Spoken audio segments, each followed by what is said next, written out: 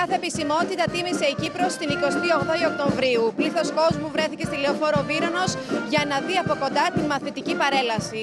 Κορτάζουμε τη μέρα και από εκεί και πέρα τα παιδιά που θα παρελάσουν ε, είναι τιμή για όλους. Ο γιος μου ρελάρει σήμερα, so είμαι έτοιμος να πάρω φωτογραφίες. Ήρθαμε να δούμε τα παιδιά μας και είμαστε περήφανοι που είμαστε Έλληνες. Δεν πρέπει να ξεχνάμε την ιστορία μας. Ναι, με μεγάλη συγκίνηση, ε, γιατί πράγματι οι Έλληνες είναι ήρωες.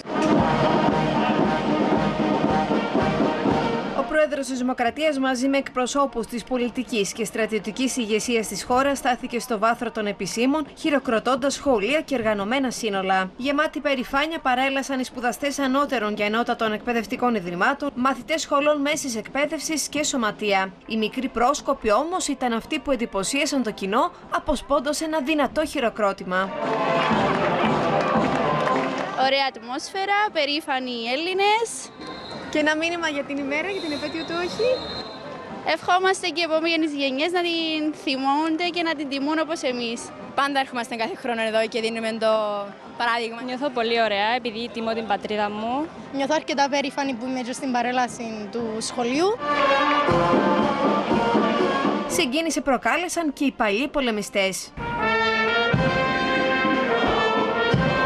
Πριν την πραγματοποίηση της μαθητικής παρέλασης για την επέτειο του όχι, προηγήθηκε δοξολογία στον Ιερό Ναό Αγίου Ιωάννη στην Αρχιεπισκοπή. Την ομιλία της επαιτίου προσφώνησε ο κυβερνητικός εκπρόσωπος. Ένα δυνατό και αναπάντεχο όχι που έγινε πράξη στις παγωμένες βουνοκορφές του αλβανικού μετώπου και της Πίνδου από τον Έλληνα στρατιώτη.